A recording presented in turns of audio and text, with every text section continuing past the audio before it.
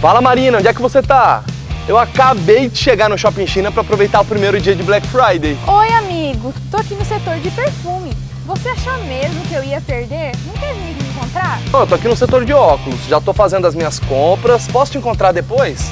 Ai, pode ser aqui no setor de bebidas? Estou degustando um vinho maravilhoso. Pode, pode sim. Só que agora eu tô muito ocupado. Eu preciso eliminar esse monstro. Monstro? Que monstro? Então, é que eu vim aqui no setor de eletrônicos e tem um monte de jogos novos. Eu posso só passar essa fase rapidão? Relaxa, eu estou fazendo uma limpeza de pele maravilhosa.